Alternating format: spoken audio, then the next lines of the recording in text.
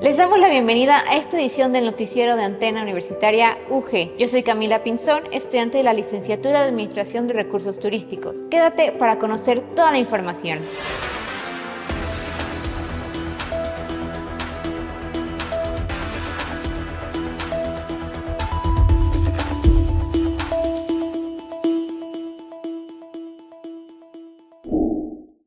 Empieza la edición número 65 de la Feria Internacional del Libro de la UG y con ella una serie de actividades para los gustos e intereses de todas las personas.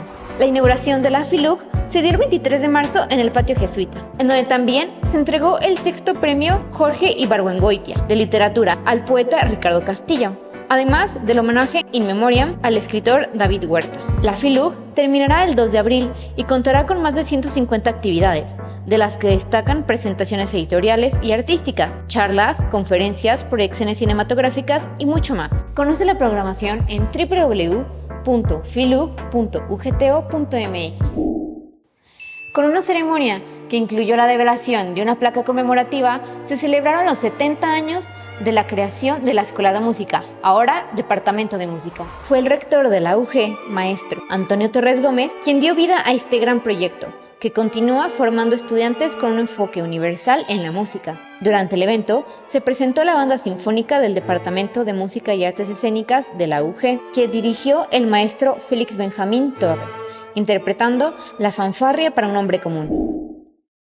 Dio inicio el torneo deportivo del nivel medio superior, en donde participan estudiantes de las 11 escuelas que forman parte de este subsistema de la Universidad de Guanajuato. Fue en las instalaciones de la EMS de Salamanca en donde se recibió a las y los atletas para la inauguración del torneo, que se llevará a cabo del 21 al 25 de marzo, el cual incluye disciplinas como fútbol, atletismo, béisbol, ajedrez, taekwondo, entre muchas otras. Este torneo fomenta el deporte y la convivencia, promueve la competencia sana y un estilo de vida saludable.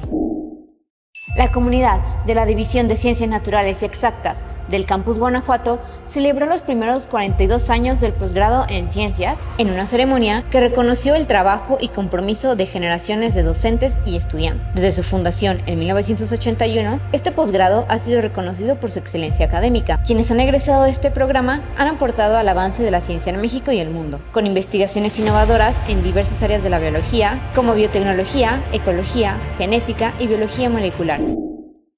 Hasta aquí toda la información de esta semana. Nos vemos a la próxima para conocer todo lo relacionado con el acontecer universitario.